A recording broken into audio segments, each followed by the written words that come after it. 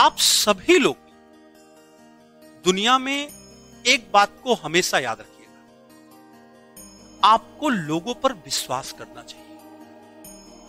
लेकिन यह बात अकाट्य सत्य है कि जिस व्यक्ति के ऊपर आप विश्वास करते हैं, विश्वासघात भी उसी व्यक्ति के साथ होता है, विश्वासघात भी वही व्यक्ति आपके साथ करता है। दुनिया में अगर आपके साथ या किसी भी व्यक्ति के साथ कभी कुछ गलत होता है ना तो कोई बाहर वाला नहीं करता। आपके अपने लोग करते हैं। तो पहली चीज़ तो लोगों पर विश्वास बहुत देर में करिए और रखिए। लेकिन एक चीज़ मैं आपको बता दूँ, अगर विश्वास हो जाए ना तो उसका साथ कभी मत छोड़िए, कभी नहीं। और आप तो विश्वासघात मत करिए।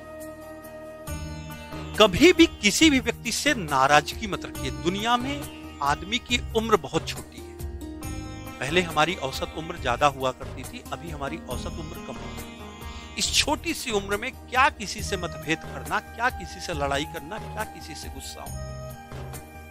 कई बार आपने देखा होगा कि कोई व्यक्ति आज है, कल नहीं है, कितने दिन का कितना जीवन है।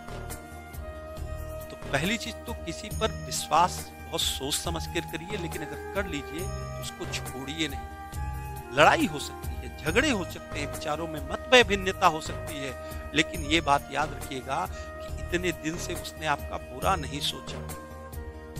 हर घर में विचारों की विभिन्नता हो।